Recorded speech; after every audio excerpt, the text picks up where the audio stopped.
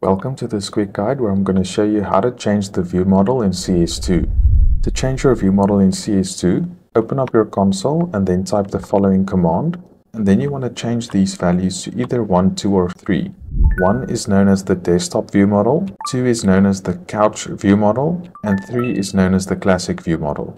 Now if you want to customize your view model even further, you can use these commands and mainly you'll be using the view model offset x, y and z values so if I select X and I change this value to something like 0, you'll see the view model has changed. If I go back and I change the Y offset, you'll see the view model also changed. And the same thing happens if I change the Z or Z value. Another command you can also use here is the view model field of view command.